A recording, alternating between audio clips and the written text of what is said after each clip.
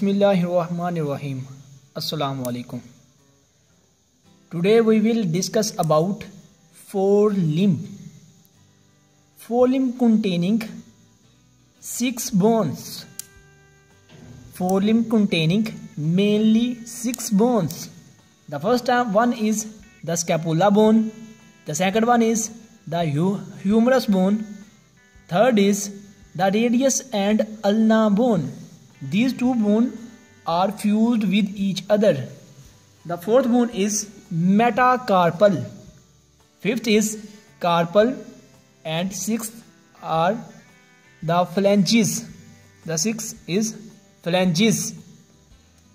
Today we will discuss only about the scapula bone. Scapula bone. Scapula bone is flat and triangular bone is flat and triangular bone. Scapula having two surfaces.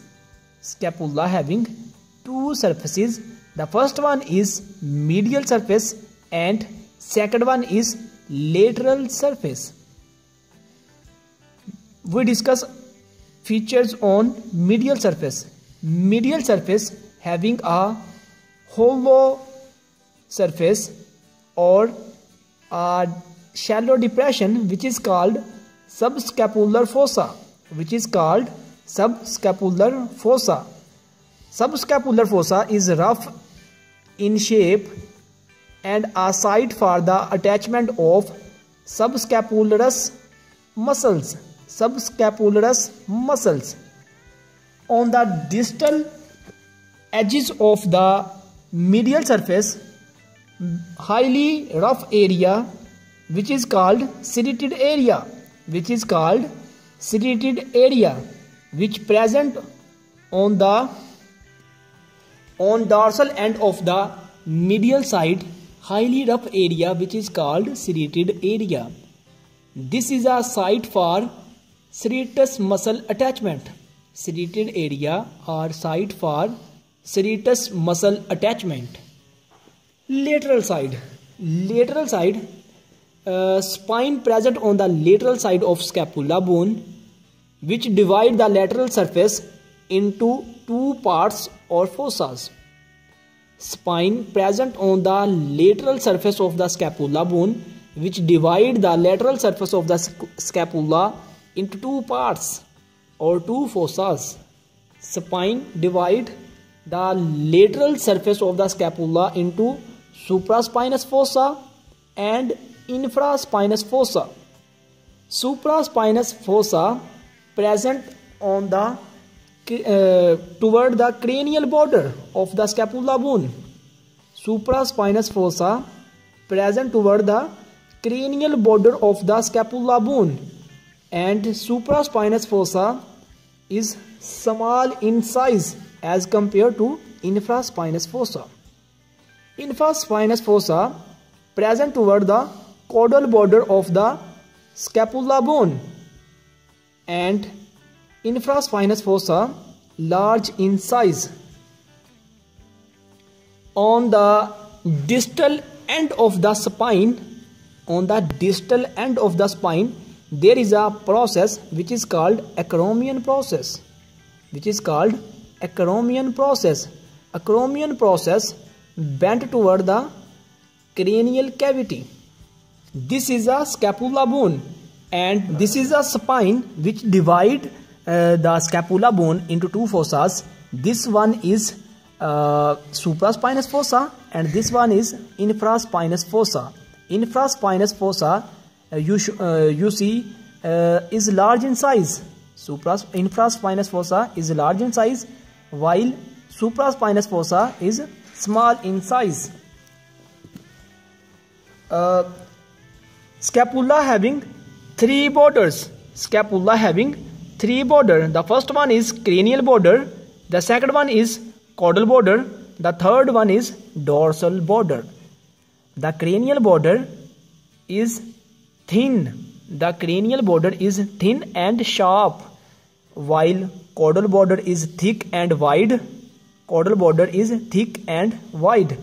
Dorsal border uh, having a uh, pore, pores and a site for the attachment of band of scapular cartilage. On dorsal border, cartilage are present. Scapula having three angle. Scapula having three angles. The first one is cranial angle. The second one is caudal angle. The third one is ventral angle. On ventral angle, there is a glenoid cavity which articulate with the head of the humerus bone. Glenoid cavity articulate with the head of humerus bone and a foramen present in glenoid cavity. A nutrient foramen present in glenoid cavity.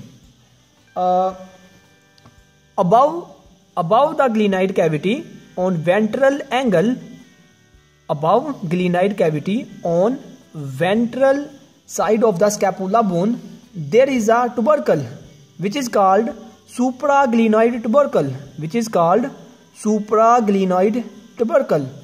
Uh, when we move from the supraglenoid tubercle toward the medial side there is a process which is called coracoid process which is called coracoid process. This is a scapula bone. Scapula having two surfaces lateral surface and medial surface. We discuss features on the lateral surface. Lateral surface has have a spine which divide the scapula bone into two fossas into two fossas. This is a infraspinous fossa and this is a supraspinous fossa and this is a infraspinous fossa. This is a spine.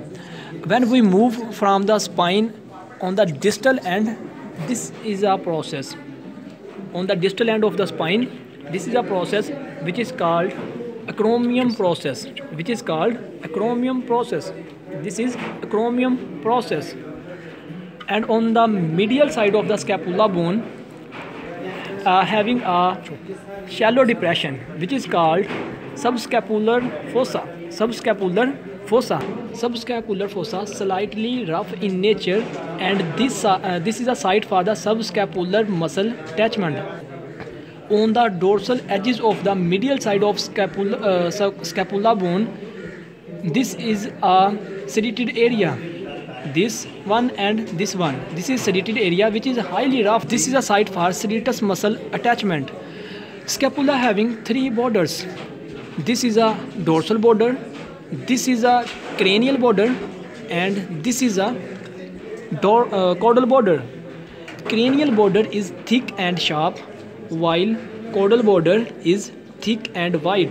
This is scapula having three angles. Uh, this is a craniodorsal angle cranial dorsal angle. This is a caudodorsal angle and this is a caudoventral angle caudoventral angle this is a glenoid cavity which articulate with the head of the humerus bone. On glenoid cavity, uh, there is a foramen which is called nutrient foramen. This is a uh, supraglenoid tubercle. This is a supraglenoid tubercle which present on the cranial side of the scapula bone. Uh, when we move from supraglenoid tubercle toward the medial side, this is a process which is called uh, coracoid process this is coracoid process. This is coracoid process